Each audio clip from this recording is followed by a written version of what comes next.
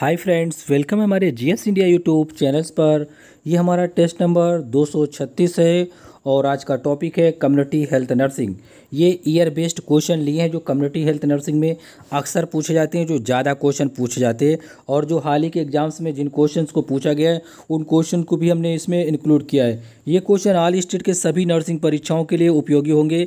आप अपनी स्क्रीन पर देख सकते हैं ऑल स्टेट के सी एच एग्ज़ाम्स के लिए A N M G N M staff nurse के एग्ज़ाम्स के लिए B S C nursing post B S C nursing entrance exams के लिए E S I C nursing exams के लिए U P C H O M P C H O U P P S C nursing exams के लिए, Rajasthan C H O P G I nursing AIIMS nursing, Uttarakhand H M Bihar A N M Bihar C H O Chhattisgarh, Madhya Pradesh, Maharashtra, Kerala, army nursing C R P F nursing, सभी nursing परीक्षाओं के लिए समान रूप से उपयोगी question होंगे, okay? चलिए, स्टार्ट करते हैं क्वेश्चन नंबर फ़र्स्ट है आपकी स्क्रीन पर। क्वेश्चन नंबर फ़र्स्ट, ये रहा आपकी स्क्रीन पर, पढ़ें, फिर आंसर बताएँ, अगर आंसर आए तो ज़रूर बताएँ। भारत में नेशनल कंट्रोल मलेरिया प्रोग्राम शुरू हुआ था, आपको बताना है कब शुरू हुआ था। दिए गए ऑप्शन में से राइट आंसर आपको सिलेक्ट करना है। क्या होगा इसका राइट आंसर इसका राइट आंसर होगा ऑप्शन डी क्या होगा? ऑप्शन डी इसका राइट आंसर होगा उन्नीस सौ तिरपन। नाइनटीन फिफ्टी थ्री इसका राइट आंसर होगा भारत में नेशनल कंट्रोल मलेरिया जो प्रोग्राम की शुरुआत की गई थी, वो उन्नीस सौ तिरपन में की गई थी, नाइनटीन फिफ्टी थ्री में की गई थी ओके चलते हैं। नेक्स्ट क्वेश्चन पर यह है आपकी स्क्रीन पर। इसी से मिलता जुलता क्वेश्चन नंबर आपकी स्क्रीन पर है। दूसरा, राष्ट्रीय मलेरिया उन्मूलन कार्यक्रम शुरू हुआ था। नेशनल मलेरिया इरेडिकेशन प्रोग्राम आप अगर हिंदी में नहीं समझ पा रहे हो तो इंग्लिश में ये वर्ड ध्यान रखेंगे। Eradication programme same to same आपको इस तरह मिलेगा एग्ज़ाम्स में। National malaria eradication programme started in India आपको बताना है। क्या होगा राइट आंसर इसका?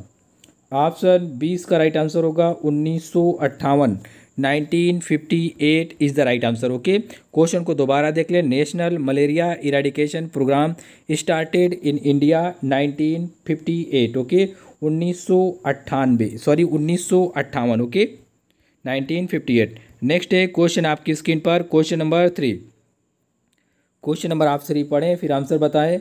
भारत में राष्ट्रीय ग्रामीण स्वास्थ्य मिशन की शुरुआत कब की गई थी? When was the national rural health mission started in India क्या होगा राइट आंसर इसका? कमेंट करें। मोस्टली मोस्टली क्वेश्चन आवर के रिविजन्स के लिए भी रखे गए हैं। राष्ट्रीय ग्रामीण स्वास्थ्य मिशन की शुरुआत। ऑप्शन बीस का राइट आंसर है 2005 में की गई थी। 2005 ओके ये इसका राइट आंसर है। राष्ट्रीय ग्रामीण स्वास्थ्य मिशन की शुरुआत की गई थी 2005 में। अगर डेट पूछी जाए तो आप ध्यान रखेंगे 12 अप्रैल 12 अप्रैल 2005 12 अप्रैल 2005 को ओके नेक्स्ट एक क्वेश्चन आपकी स्क्रीन पर। क्वेश्चन नंबर फोर पढ़ें, फिर आंसर बताएँ, क्या होगा राइट आंसर इसका? जननी सुरक्षा योजना की शुरुआत कब की गई थी? फिर वाज जननी सुरक्षा योजना। ये वर्ड इतना ध्यान रखेंगे। जे एस वाई भी कहा जाता है इसी को, ठीक है? जननी सुरक्षा योजना कब शुरू किया गया था? इसका जो राइट आंसर होगा ऑप्शन बी होगा क्या? 2005 ठीक है? 2005 इज़ द राइट आंसर ये जननी सुरक्षा योजना की जो शुरुआत हुई थी, वो 2005 में हुई थी। अगर डेट पूछा जाएगा तो इसमें भी आप बताएँगे ट्वेल्थ अप्रैल ठीक है? कितना? 12 अप्रैल 2005 बताएँगे, ठीक है? डेट इसमें भी ध्यान रखेंगे 12 April N R H M ठीक है? ऊपर जो बात कर रहा था N R H M, national rural health mission और ये लिखा है जननी सुरक्षा योजना, ठीक है? ये दोनों की डेट एक ही है। क्या है? तारीख मतलब इनका जो ईयर है 2005 है और 12 अप्रैल 2005 दोनों के लिए ध्यान रखेंगे, ओके? नेक्स्ट है क्वेश्चन, आप देखेंगे यहाँ पर एक दो पॉइंट लिखे गए, इन्हें समझ लेते हैं पहले, फिर बात करते हैं। एम्स क्या है इसका? मतलब एम्स क्या है? उद्देश्य क्या है? ऑब्जेक्टिव्स क्या है? टारगेट क्या है? It is being implemented with the objectives of the reducing the maternal and the neonatal mortality by the promoting the institutional delivery among poor pregnant women जो गरीब महिलाएँ हैं ठीक है उनको क्या करना संस्थागत प्रसव इंस्टीट्यूशनल मतलब होता है हॉस्पिटल में या C S C P S C में उनको क्या करना, उनको बढ़ावा देना कि ज़्यादा से ज़्यादा वो डिलीवरी कहाँ कराएँगे? किसी भी इंस्टीट्यूशनल या हॉस्पिटल में कराएँगे, ठीक है? कहाँ कराएँगे? हॉस्पिटल के लिए उन्हें प्रमोट करना या हॉस्पिटल में कराएँगे। इससे क्या किया जा सकता है? इससे रिड्यूसिंग किया जाएगा मैटरनल एंड नियोनेटल जो मर्टिलिटी रेट है या मातृ मृत्यु दर और शिशु मृत्यु दर को कम किया जा सकता है, ठीक है? इसका ये उद्देश्य है। और किन महिलाओं के लिए? गरीब महिलाओं के लिए। ओके तो ध्यान रखेंगे आप ये दोनों पॉइंट ओके? जननी सुरक्षा योजना, ये किसका कंपोनेंट है? तो आप बताएँगे ये एन आर एच एम का कंपोनेंट है। किसका घटक है? जननी सुरक्षा योजना किसका घटक है? तो आप ध्यान रखेंगे ये एन आर एच एम मतलब राष्ट्रीय ग्रामीण स्वास्थ्य मिशन का ये घटक है। ये पॉइंट ध्यान रखना बहुत इंपॉर्टेंट है। पूछा जा चुका है। नेक्स्ट है क्वेश्चन नंबर आपकी स्क्रीन पर फाइव क्वेश्चन फाइव पढ़ें, फिर आंसर बताएँ। जननी शिशु सुरक्षा कार्यक्रम की शुरुआत कब की गई थी? वेन वाज द जननी शिशु सुरक्षा प्रोग्राम लास्ट। क्या है राइट आंसर इसका? इस क्वेश्चन के आप ऑप्शन दोबारा देखें, फिर से आंसर बताएँ। क्या होगा राइट आंसर इसका? जननी शिशु सुरक्षा कार्यक्रम, ठीक है। ऊपर क्या था? जननी सुरक्षा योजना था। यहाँ पर जननी शिशु सुरक्षा कार्यक्रम पूछा गया है। इसका जो राइट आंसर होगा ऑप्शन डी होगा 2011 2011 इसका राइट आंसर होगा, ठीक है। ये है जननी शिशु सुरक्षा कार्यक्रम की शुरुआत 2011 में हुई थी 2011 में हुई थी, ओके? यहाँ पर कुछ पॉइंट लिखे गए, इन्हें आप समझ लेते हैं। क्या लिखा गया है यहाँ पर? देख सकते हैं, जननी शिशु सुरक्षा कार्यक्रम, ठीक है, जे एस एस के यहाँ पर प्रोग्राम नहीं लिखा जाता कार्यक्रम ही मेंशन किया जाता है हमेशा ठीक है? ये पह, पहली जून को 2011 को स्टार्ट किया गया था ठीक है? फ़र्स्ट जून 2011 को स्टार्ट किया गया था entitle all pregnant women's delivery in a public health institution to the absolutely free and no expense delivery including the caesarean section ठीक है? इसमें लाभ क्या मिलेंगे क्या क्या इसमें उद्देश्य रखे गए थे? इसमें जननी शिशु सुरक्षा जो कार्यक्रम था, इसमें जो इंस्टीट्यूशनल डिलीवरी होती है, उसको बढ़ावा देना इसका कार्य था और इसमें जो इंस्टीट्यूशनल डिलीवरी होगी, वो फ्री होगी। वो चाहे सीजेरियन सेक्शन के माध्यम से ही क्यों ना हो या ऑपरेशन के माध्यम से ही क्यों ना हो, ठीक है?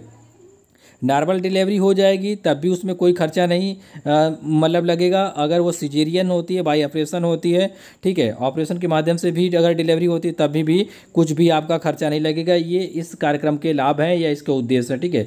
जननी शिशु सुरक्षा कार्यक्रम, ये पॉइंट आप ध्यान रखेंगे। वेरी वेरी इंपॉर्टेंट है। जननी सुरक्षा योजना कब थी? वो दो हज़ार पाँच में स्टार्ट की गई थी। ये जननी शिशु सुरक्षा कार्यक्रम है, शिशु लगा है बीच में, ठीक है? तो ये 2011 ध्यान रखेंगे आप ओके नेक्स्ट है यहाँ पर क्वेश्चन नंबर आपकी स्क्रीन पर सिक्स।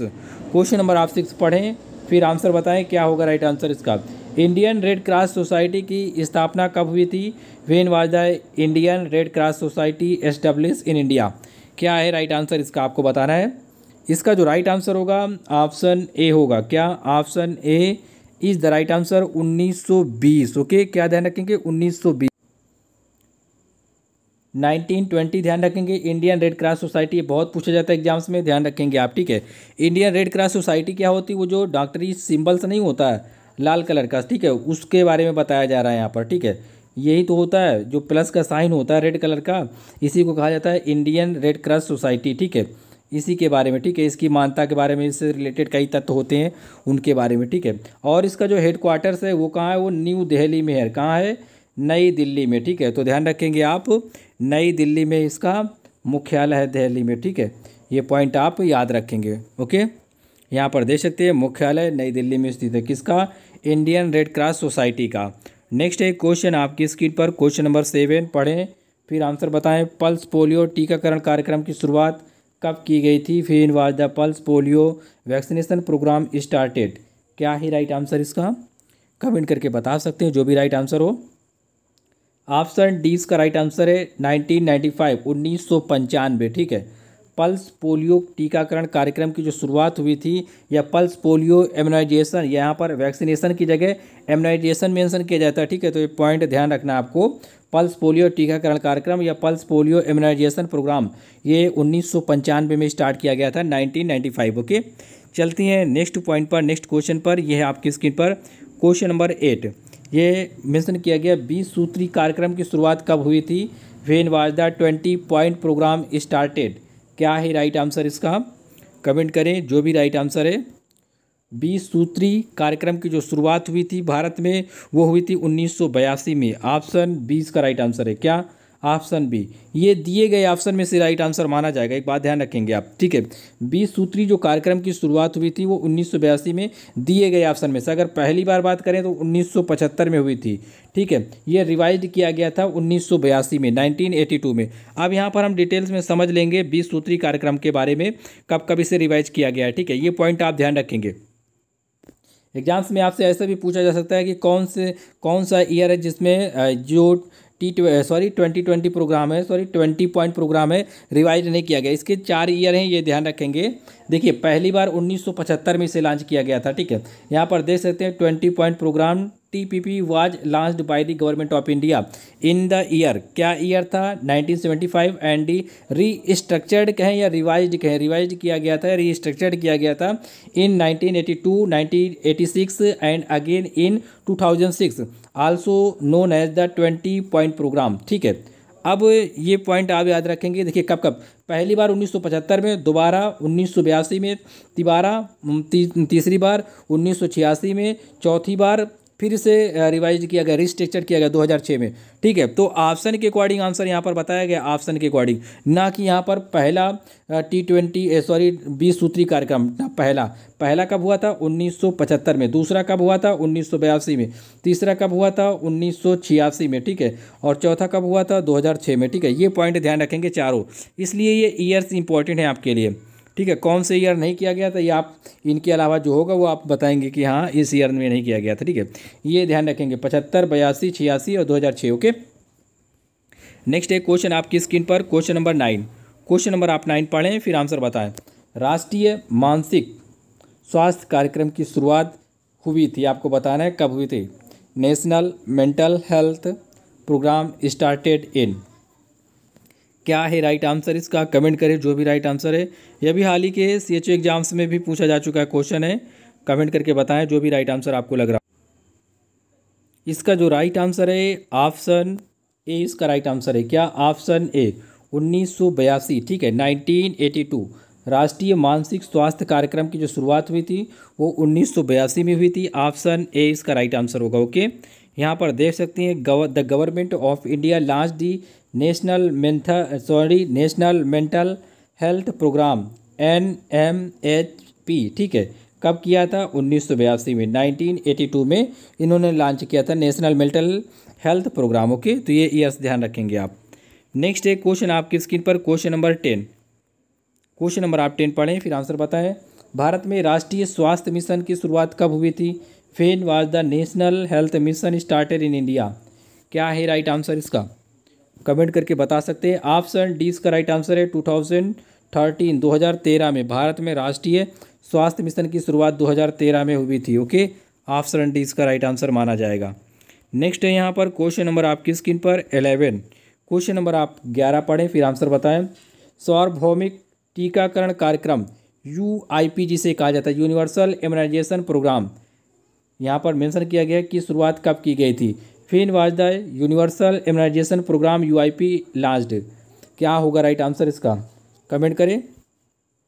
ऑप्शन सी इसका राइट आंसर होगा उन्नीस सौ बयासी, ठीक है? सॉरी उन्नीस सौ पचासी, नाइनटीन एटी फाइव में, ठीक है? U I P universal immunization programme U I P जिसे कहा जाता है, सार्वभौमिक टीकाकरण कार्यक्रम, ठीक है? या वैश्विक टीकाकरण कार्यक्रम भी कहेंगे, ठीक है? उन्नीस सौ पचासी में लॉन्च किया गया था। यूआईपी ध्यान रखेंगे या इंग्लिश में यही वर्ड ध्यान रखेंगे। यूनिवर्सल इम्यूनाइजेशन प्रोग्राम लॉन्च किया गया था उन्नीस सौ में ओके नेक्स्ट है क्वेश्चन आपकी स्क्रीन पर। Question number twelve question number twelve पढ़ें, फिर आंसर बताएँ। राष्ट्रीय बाल स्वास्थ्य कार्यक्रम की शुरुआत कब की गई थी? When was the national child health programme launched क्या है इसका राइट आंसर कमेंट करके बता सकते हैं। जो भी राइट आंसर आपको लग रहा हो, इसका जो राइट आंसर होगा ऑप्शन बी होगा। क्या ऑप्शन बी 2013 2013 को राष्ट्रीय बाल स्वास्थ्य कार्यक्रम, ठीक है, national child health programme launch किया गया था। 2013 को 2013 को लॉन्च किया गया था, ओके? तो ये आप सभी ईयर ध्यान रखेंगे जितने हमने बताए। ये सभी इम्पोर्टेंट क्वेश्चन से आपके एग्ज़ाम्स के लिए और ये एग्ज़ाम्स के हाल ही परीक्षाओं में पूछे गए हैं एनएचएम के, ठीक है? एनएचएम के एग्ज़ाम्स में पूछे गए, जो ई e के नर्सिंग एग्ज़ाम्स होते थे, उसमें भी पूछे गए क्वेश्चन लिए गए हैं, ठीक है? जितने भी डाटा में क्वेश्चन लिए गए सभी सर्टिफाइड आंसर हैं, ठीक है? आपको ज़्यादा डाउट नहीं करना, जो भी पॉइंट बताए गए हैं, वो आपको सर्टिफाइड करने के बाद ही बताए गए इसलिए जो भी आंसर हैं, उन्हें आप याद कर लेना, ठीक है? जो भी डिटेल्स भी बताई गई, उन्हें भी आप याद कर लेंगे, जिस प्रकार के क्वेश्चन आपको बताए गए हैं। तो उम्मीद करता हूँ, वीडियो आपको अच्छा लगा होगा। अगर चैनल पे नए से सब्सक्राइब करना लाइक करना और अपने दोस्तों के साथ भी शेयर करना। डेली आपको वीडियो मिलते रहेंगे। समय पर मॉर्निंग या आफ्टरनून पर ठीक है? और जो लोग हमारे नोट्स परचेज करना चाहते हैं, वो हमें कमेंट बॉक्स में हमारा व्हाट्सअप नंबर मेंशन किया जाएगा। हमें अपना नाम मेंशन करेंगे। नाम लिखकर और अपने स्टेट का नाम किस एग्ज़ाम्स की तैयारी कर रहे हैं मेंशन करके हमें मैसेज करेंगे ओके जो लोग नोट्स परचेज करना चाहते हैं okay thank you thanks for watching thank you bye bye take cares